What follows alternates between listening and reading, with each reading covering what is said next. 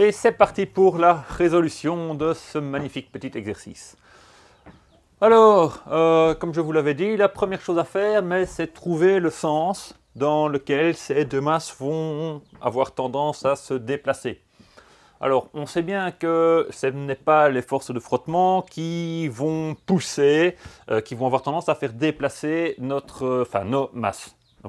Donc, la manière la plus facile de savoir dans quel sens ce système va se mettre à se déplacer, eh ben, ce serait de ne pas tenir compte des forces de frottement, donc considérer que le mu, euh, mu cinétique vaut 0, et on va tenir la poulie ici au-dessus, bien évidemment en considérant que la corde qui passe de la masse grand M à la masse petit m eh ben, ne glisse pas sur cette poulie. Et donc, en tenant cette poulie, eh ben, on va pouvoir voir, en considérant euh, les forces de frottement comme étant nulles, est-ce que c'est cette masse-ci qui tire plus que cette masse-là, suivant bien évidemment la direction du plan, enfin des deux plans inclinés de chacune de ces masses. Voilà. Alors, comment faire ça? Euh, bah, Très simplement. Première chose, bah, on va euh, commencer par mettre un système d'axes. Et on va, euh, enfin en tout cas dans mon cas, moi je travaille avec souvent plusieurs systèmes d'axes. Et des systèmes d'axes qui seraient cohérents. Alors ici, est-ce qu'on a vraiment besoin de le faire? Pas vraiment. La première chose qu'on va faire, ben, c'est directement représenter les différentes forces qui s'appliquent sur notre système. Alors, qu'est-ce qu'on a comme force qui s'applique sur M? Eh bien, bien évidemment, sa masse. Hein? voilà, que je vais appeler petit p. Petit p. Voilà. La masse ici, grand P.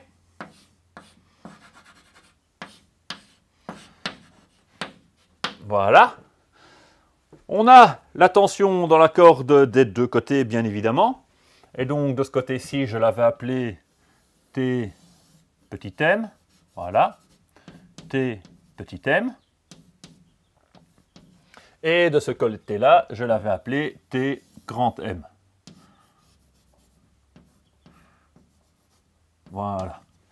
Alors ensuite, ben, bien évidemment, nous avons euh, la réaction du plan incliné sur nos différentes masses, hein, ce qu'on appelle communément la normale. Alors la normale, je vais la représenter, euh, voilà, non, ça, ça va pas le faire, voilà, ça, ça va le faire, voilà.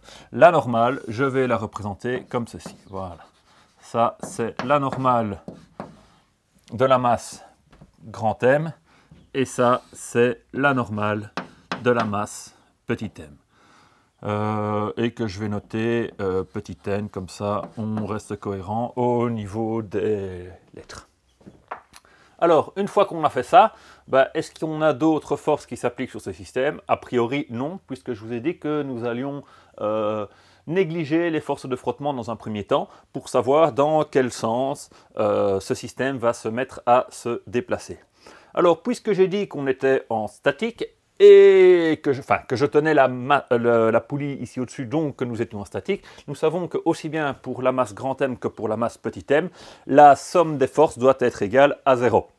Alors pour faire ça correctement, bah, la première chose c'est de décomposer nos forces suivant, bah, ici euh, vous vous en doutiez bien que je vais les décomposer chaque fois suivant euh, la direction du plan incliné et une perpendiculaire au plan incliné. Une fois qu'on aura trouvé dans quel sens euh, ce système va se mettre à se déplacer, je mettrai le système d'axe de manière cohérente pour que tout se déplace suivant l'axe positif des systèmes que je vais créer. Alors ici, bah, décomposons grand P. Voilà. Alors ça, c'est grand PX. Et ici, nous avons grand P Y. Voilà. De ce côté-là, idem. Petit p, petit p, y et petit p x. Voilà. Alors, puisqu'on a dit que la somme des forces devait être égale à 0, bon, ici, on ne va pas vraiment avoir besoin de calculer la normale, puisque de toute façon, ben, ce n'est pas elle qui va rentrer en jeu. Moi, ce qui m'intéresse, c'est vraiment c'est TM. Et donc, ici, pour avoir TM, eh ben, je vais faire ma somme des forces.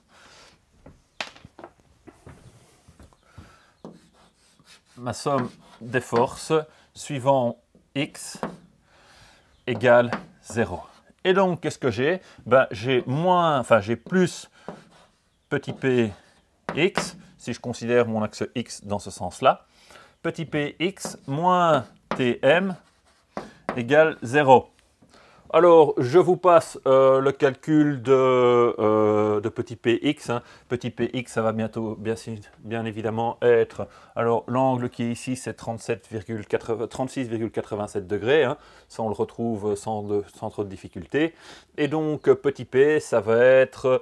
Euh, enfin, pardon, px, ça va être petit p fois, bien évidemment, le cosinus de 36 87 degrés. Et ça, c'est égal à Tm. Alors, le cosinus de 36,87 degrés, si mes souvenirs sont bons, c'est 0,8. Donc, euh, ça va me donner Tm est égal à 0,8, 6 fois 8, 48. Donc, c'est égal à 4,8 newton. Voilà, ça, c'est en considérant que l'on tient la poulie, c'est la tension qu'il y a dans la corde quand le système est toujours statique. On peut faire exactement la même chose de ce côté-ci. Hein. Alors moi ici, je vais prendre, enfin peu importe dans quel sens, hein, puisqu'on en a un qui va être positif, donc on, voit bien que Px est égal à Tm. Et donc, euh, je vous passe les petits calculs. Hein. Nous allons trouver que Tm est égal à euh, donc nous avons 2 kg, ça fait 20 kg, ça fait fois le sinus, donc 0,6, 2 fois 0,6, 2 fois 0,6, 2 fois 6 dixièmes, enfin pardon, 20 fois 6 dixièmes, 20 fois 620 dixièmes, ça fait 12 newtons. Voilà. Ok, donc ici, la tension dans la corde ici vaut 12 newtons. La tension dans la corde de ce côté-ci vaut 4,8 newtons. Pourquoi j'ai mis 20 C'était Ça, c'est la masse de la poulie. Excusez-moi. Donc, euh, donc ici, après, enfin, donc euh, de ce côté-ci,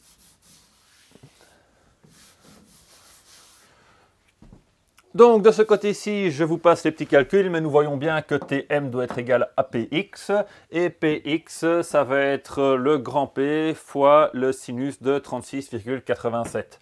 Alors, la masse grand M vaut 1 kg, ça fait 10 newtons, ça fait euh, fois, ça fait... Voilà, nous allons trouver que Tm est égal à 6 newtons. Voilà. Et donc, qu'est-ce que l'on peut remarquer grâce à ça? Eh bien, on peut remarquer que la tension de ce côté-ci est beaucoup plus importante que la tension de ce côté-là. Ça veut dire quoi? Ça veut dire que de ce côté-ci, si on regarde à proprement parler la poulie, la tension avec laquelle on tire sur cette poulie de ce côté-là est plus importante que la tension avec laquelle on tire de ce côté-là. Ça veut dire que mon système va bien évidemment se mettre à tourner dans le sens anti-horloger ou pour le dire autrement, dans le sens trigonométrique. Et donc, une fois que j'ai trouvé ça, je vous propose de mettre différents systèmes d'axes pour pouvoir justement travailler. Bien évidemment, ces systèmes d'axes doivent être cohérents. Ça veut dire quoi? Ça veut dire que si de ce côté-ci, je vais prendre le sens positif dans ce sens-là pour la rotation de la poulie, je vais donc de ce côté-ci prendre l'axe X de ce, dans ce sens-ci, L'axe Y, alors je ne l'ai pas bien mis, l'axe X, l'axe X, voilà, beaucoup mieux. L'axe X. Dans ce sens-ci. Au niveau de l'axe Y, ben, si j'ai envie euh, d'être un tout petit peu cohérent avec mon sens de rotation là, ça pourrait être intéressant de mettre l'axe Y dans ce sens-ci. Voilà. Comme ça, même au niveau du produit vectoriel, eh ben, ça va fonctionner euh, sans problème. Comme ça, ceci, ce sera bien du positif suivant le z que nous avons ici. Puisqu'on a décidé d'être cohérent, ben, si je mets mon axe x dans ce sens-là pour la masse grand M, ben, quand la masse grand M se déplace suivant son axe x positif, ce serait bien que la masse petite m se déplace elle aussi suivant son axe x prime. Hein, c'est comme ça que je vais le noter. x prime pour bien faire la différence. x prime positif. Et donc je vais mettre le x prime dans ce sens-ci. Et de nouveau, pour être un petit peu cohérent avec... Euh, mes systèmes d'axes, je vais mettre le Y' dans ce sens-ci. Voilà, ça change un petit peu, ça vous obligera à réfléchir correctement.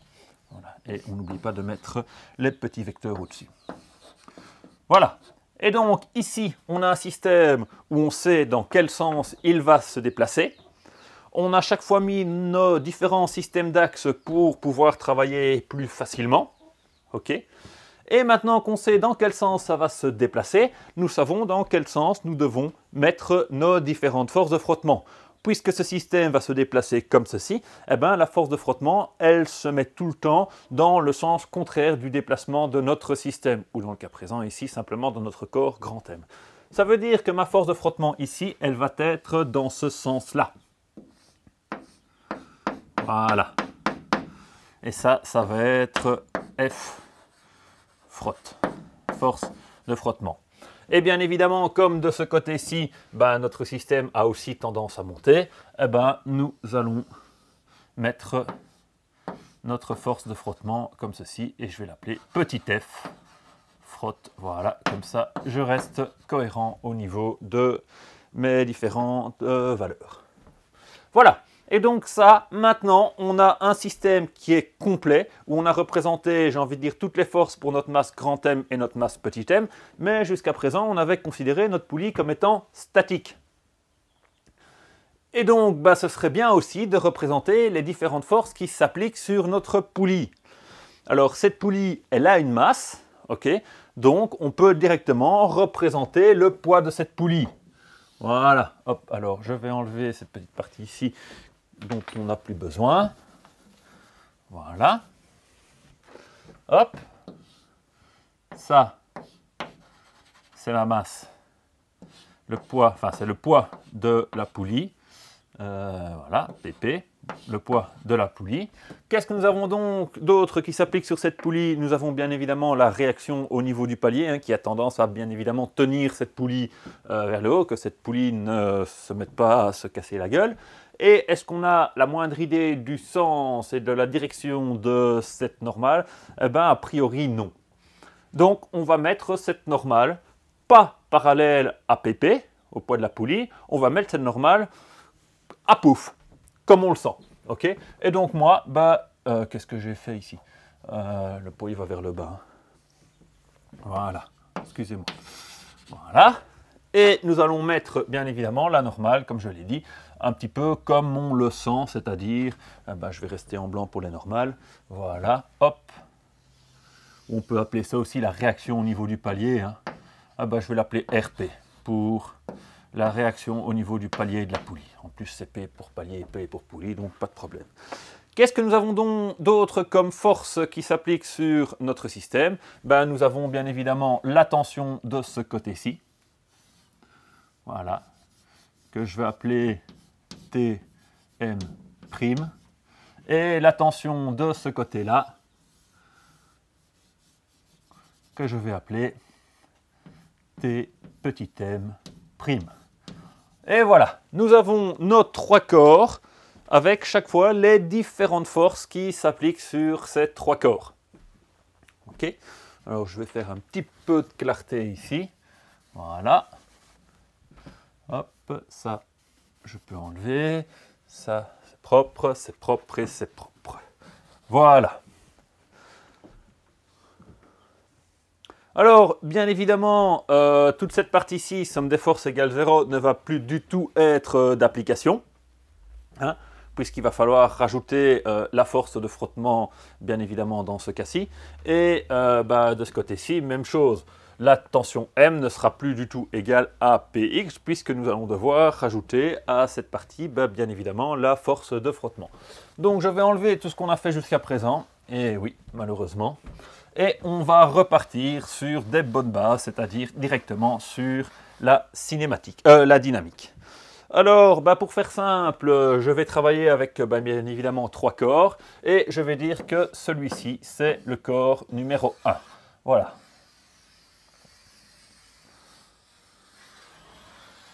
Donc, la masse grand M, c'est le corps numéro 1.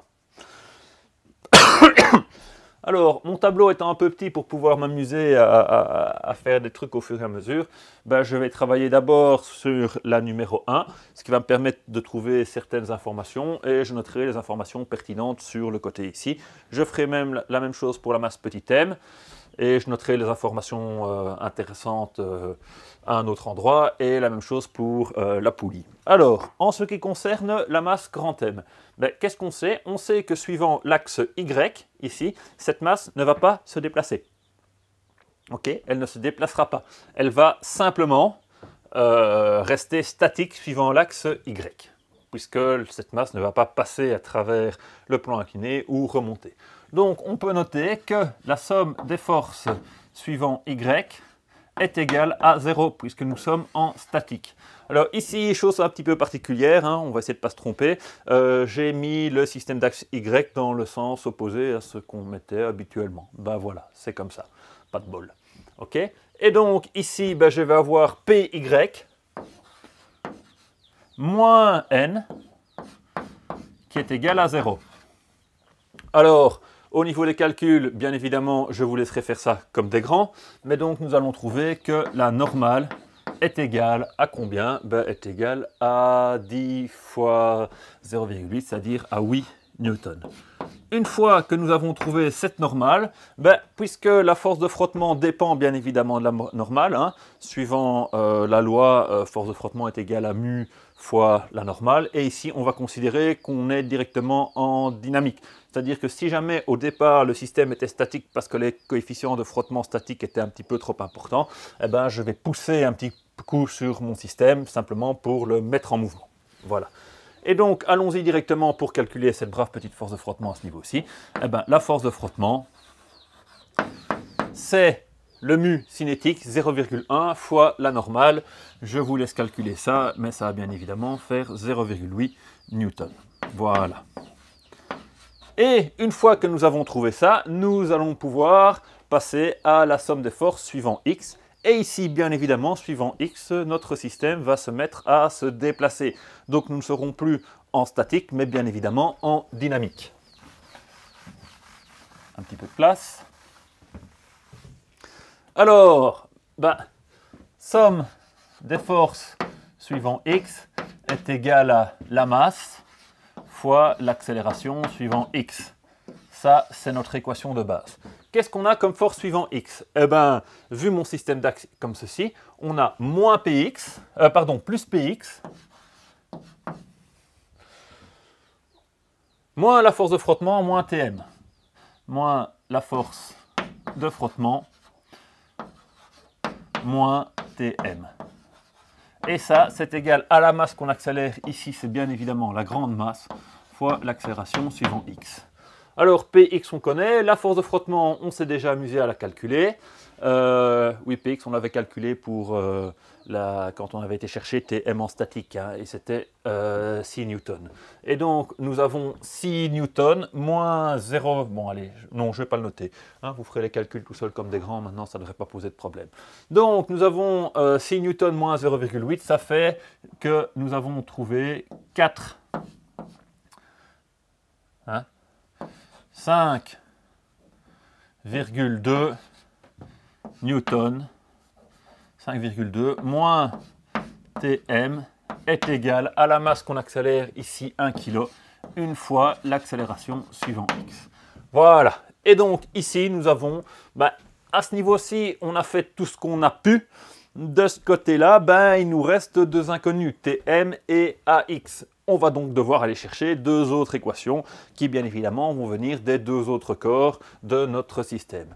Alors, cette équation, je vais la noter ici au-dessus et ensuite je vais effacer pour pouvoir continuer avec mes autres systèmes, parce que sinon je vais manquer de place. Et donc ici, première équation que nous avons, euh, je, vais la, ah ben, je vais la noter comme ça, voilà, équation numéro 1, nous avons 5,2 moins t, pourquoi j'ai mis un petit m, c'était grand m, moins t grand m est égal à l'accélération suivant x. Voilà, ça c'est notre première équation et j'aurais bien évidemment dû la mettre en orange pour être cohérent avec mes petites couleurs.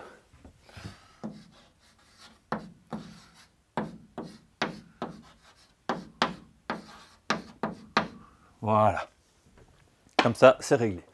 Ensuite, nous allons pouvoir passer à un autre corps. Alors, je vous propose de directement passer sur le corps de la masse petit m, puisque ça va être similaire à ce qu'on a fait sur la masse grand m. Alors, au niveau de la masse petit m, ben, bien évidemment, suivant y' de nouveau, on va être en statique, hein, puisque cette masse ne va pas s'envoler, ne va pas passer à travers le plan incliné, etc. etc. Et donc ici, ben, on peut marquer que la somme des forces suivant y' est égale à m euh, est égale à 0, puisque comme je l'ai dit, nous sommes en statique.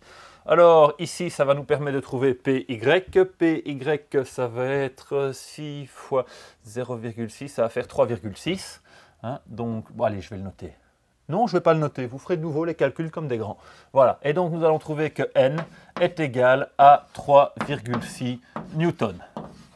De nouveau, une fois qu'on a trouvé ça, on peut aller chercher la force de frottement. Et cette brave force de frottement ici, après avoir fait les calculs, vous trouverez que ça vaut 0,36 newton.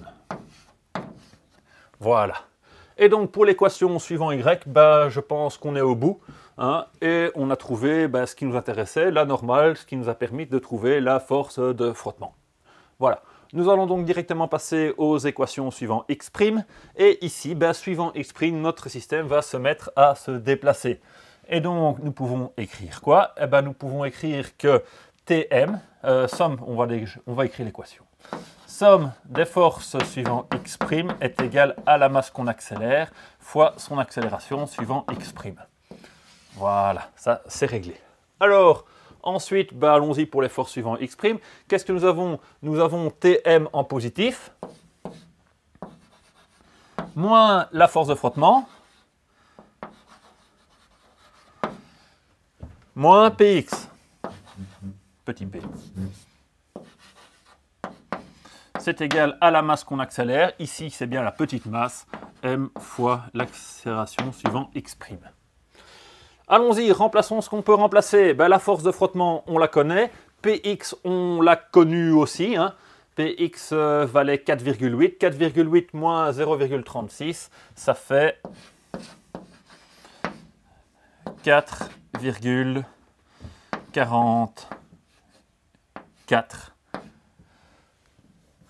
qui est égal à la masse ici, c'est 600 grammes, donc c'est 0,6 fois l'accélération suivant x'. Voilà, et donc ça, c'est notre deuxième équation. Alors, au niveau des forces suivant y', bah, c'est bon, on a tout fait, euh, on n'a plus d'inconnu. Et suivant la force suivant x', bah, bien évidemment, nous avons une, équation. Et cette équation, de nouveau, je vais aller la réécrire là au-dessus et je vais l'écrire en jaune pour rester un petit peu euh, correct avec mes différents systèmes. Alors, nous avons donc... Euh, et tiens, je vais directement remettre ça dans le même sens, de la même manière. Donc, c'est-à-dire le terme indépendant, le terme en TM, mais on s'en fout complètement, et le terme en AX. Donc, en fait, je peux la récupérer tel quel.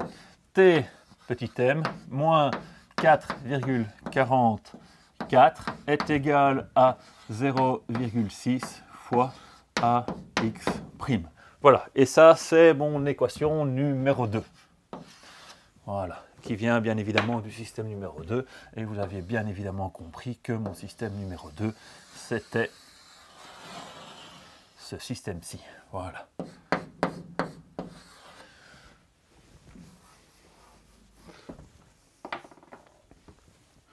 Ok, il nous reste plus, qu'une chose à aller chercher. Ben, bien évidemment, c'est les équations qui viennent de notre brave petite poulie. Alors, de nouveau, ben, je vais effacer ça, hein, puisque je vais avoir besoin d'un petit peu plus d'espace pour pouvoir continuer. Et donc, c'est parti à la suite pour la poulie.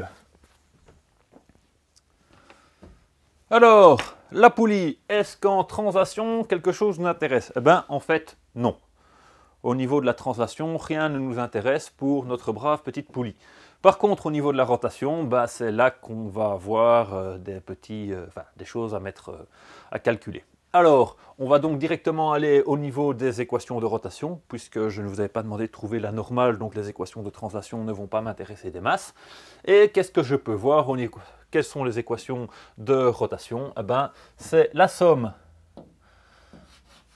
des moments alors ici, on n'a pas trop le choix, on doit le faire par rapport au centre de rotation, puisque l'inertie de notre poulie est donnée par rapport au centre de rotation de notre système. Donc je suis bien obligé de calculer mes moments par rapport au centre de rotation. Ok? Alors la somme des moments par rapport à C, c'est égal à l'inertie de ma poulie fois son accélération angulaire alpha. Voilà, ça c'est mon équation de base. Alors, qu'est-ce que nous avons comme force qui vont avoir tendance à faire tourner notre poulie? Ben, Nous avons Tm' qui va avoir tendance à le faire tourner dans le sens positif, avec un bras de levier de combien? Ben, Un bras de levier du rayon. Ok? Donc, c'est-à-dire 10 cm, 0,1 m. Donc, j'ai ici, première chose, T, enfin 0,1 fois T grand M prime. Nous avons T petit m prime qui lui va avoir tendance à faire tourner mon système dans le sens négatif, donc un moins. Le bras de levier est toujours 10 cm, hein, le rayon de la poulie, fois petit tm prime. Et tout ça, ça va être égal à quoi? Eh bien tout ça, ça va être égal à l'inertie de notre poulie fois euh, l'accélération angulaire. Alors, je vous rappelle que l'inertie d'une poulie, c'est euh, mr carré sur 2, en tout cas dans les poulies qu'on employait jusqu'à présent. La masse de cette poulie, c'est 2 kg, donc ça va faire 2, fois le rayon au carré. Alors, le rayon 0,1, au carré 0,01, 1 centième, je vais directement diviser par 2 fois 100. 2 fois 100. Et bien évidemment, comme mon tableau est trop petit, j'ai presque plus de place pour marquer mon alpha ici. Voilà, donc j'ai 2 M, euh, MR carré, hein, le R carré c'est 0,01, euh, donc un centième, euh, divisé par 2. voilà.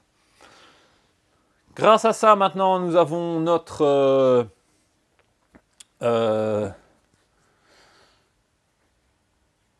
notre, euh, notre troisième euh, équation qui va nous permettre de pouvoir euh, travailler tout ça. Et donc je vais aller noter cette troisième équation ici en dessous. Et ça va devenir un petit peu court au niveau de la disponibilité de mon tableau. Mais donc ici, alors ici pour pouvoir m'amuser un tout petit peu, je vais directement tout multiplier par 10. Ok, comme ça je vais avoir du Tm du TM et plus du 0,1 TM. Ça va pouvoir euh, me servir, vous allez voir. OK?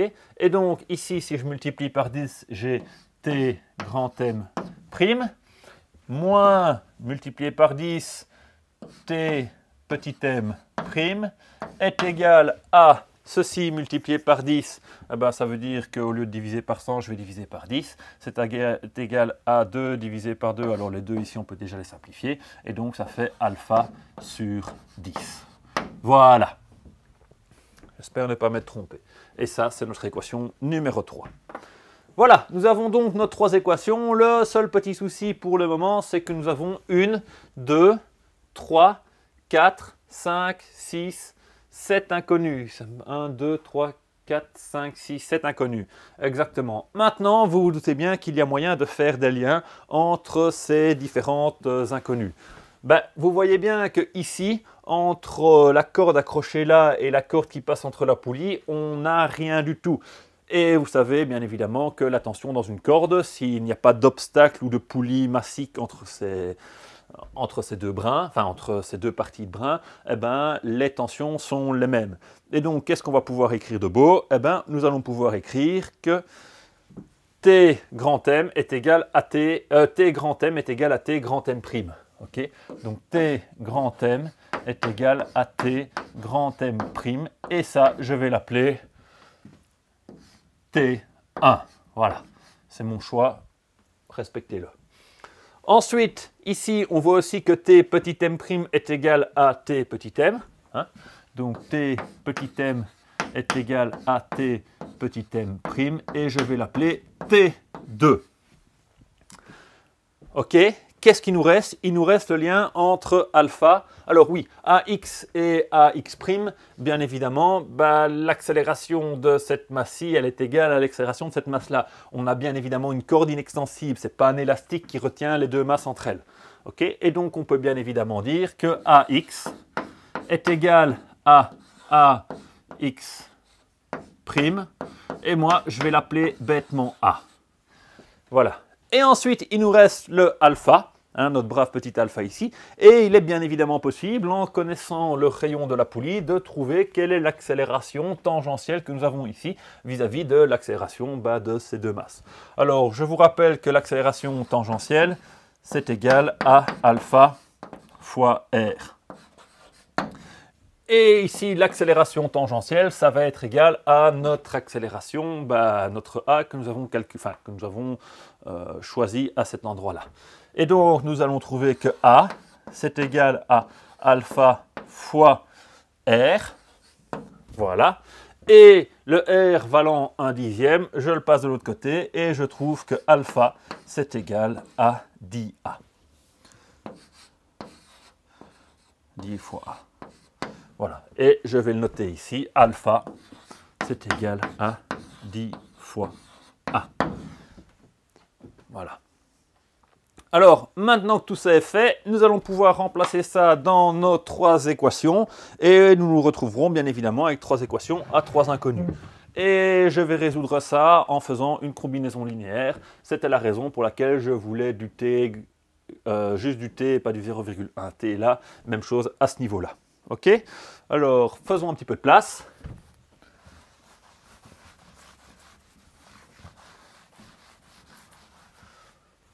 Voilà, la place est faite. Et c'est parti. Donc, ici, pour être un petit peu cohérent, je vais mettre euh, bah, chaque fois les, TM, les T petits m les uns en dessous des autres, hein, c'est-à-dire T2, les T1 en l'un en dessous des autres, hein, pour avoir quelque chose de correct, euh, genre une espèce de matrice. Et donc, nous avons ici moins T1 plus 5,2 est égal à A. Ça, c'est mon équation numéro 1. Mon équation numéro 2, alors je ne vais pas laisser assez de place pour pouvoir mettre euh, ici, hein, on va écrire ça magnifiquement, plus 0 T2 plus 5,2 est égal à A. Alors, T1, euh, dans la deuxième équation, T1, on n'en a pas, donc je peux dire 0T1 plus Tm, c'est-à-dire T2, enfin T petit m, ça veut dire T2, moins 4,44 est égal à A fois 0,6 euh, fois 0,6. 0,6. Ça, c'est mon équation numéro 2. Et mon équation numéro 3, bah, j'ai Tm', bah, on avait vu que T grand M' c'était T1. Donc j'ai T1 moins T2 est égal. Alors ici, le alpha, ben, on va le remplacer par DA. Et donc, si je remplace alpha par 10A, ben, j'ai 10A euh, sur 10, ça fait A. Voilà. Et de nouveau, j'ai oublié de mettre mon terme indépendant, mais ici, il n'y en a pas. Et voilà. Et donc, ici, une fois que nous avons écrit ces belles, braves équations, eh ben, soit vous vous amusez à résoudre ça comme étant une matrice. Moi, si je l'ai mis comme ceci, c'était bien évidemment pour pouvoir faire facilement une combinaison linéaire. Et donc, je vais pouvoir additionner terme à terme pour trouver mon A puisque à chaque fois vous avez pu remarquer que euh, les moins T1 plus T1, bah, ça va se simplifier, le plus T2 moins T2, ça va se supprimer, et donc il nous restera le 5,2 moins le 4,42. Donc ça va faire 0 plus 0. Alors 4,2 moins 4,44. Euh, pardon, 5.2. 5.2 moins 4.44, ça nous fait pouf 0,76. Donc plus 0,76 est égal à A plus 0,6A plus A. Ça fait 1, 2, 2,6 fois A. Il suffit juste d'isoler le A et nous allons trouver que l'accélération de notre système est égale à 0,76 divisé par 2,6. Et faisons ce dernier calcul, 0,76 divisé par 2,6, ça nous fait 0,29 environ. 0,29 mètres par seconde au carré. Et là, bien évidemment, puisqu'on va devoir aller rechercher tes grands thèmes et tes petits thèmes, eh ben, euh, je vais directement sauvegarder hop là, la valeur. Comme ça, c'est réglé. Donc, nous avons trouvé que notre accélération, alors je vais la noter en grand ici en dessous, c'est 0, c'est environ égal hein, à 0,29 mètres par seconde au carré. Voilà. Alors, bah maintenant, je vous avais demandé aussi de trouver tes grands thèmes et tes petits thèmes. Bah, rien de bien compliqué, hein. il suffit d'isoler ça dans la première équation, hein, d'isoler tes grands thèmes, puisque nous avons trouvé l'accélération, et ça va nous permettre de trouver ça sans aucun problème. Alors, allons-y. J'efface ça, on n'en a plus besoin. Je vais directement isoler tes grands thèmes. T, en fait c'est T1. Hein. T1 est égal à, je vais laisser tes grands thèmes puisque c'est comme ça que je vous avais posé la question, hein. on ne va pas trop vous perturber. Et donc c'est égal à quoi Tes grands thèmes, c'est égal à 5,2 moins AX, c'est-à-dire moins 0,29. Et donc si je reprends la valeur exacte de l'accélération sur ma calculette, ça nous fait 4,91 environ. 4,91 si j'arrondis correctement Newton. Voilà.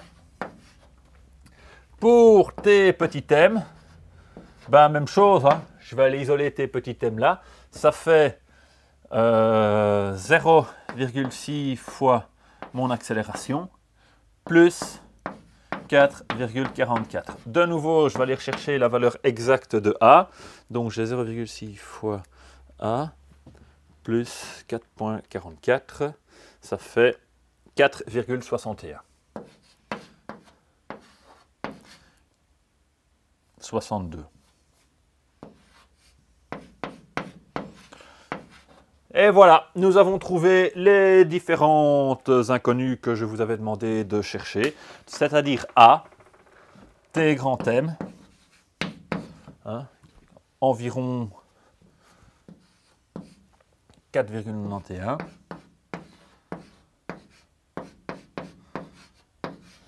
Et T petit m qui est égal à 4,62.